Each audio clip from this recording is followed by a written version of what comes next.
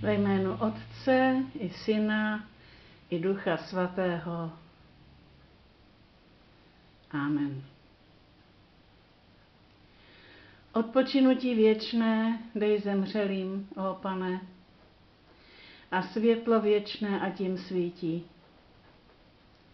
Ať odpočinou v pokoji. Amen.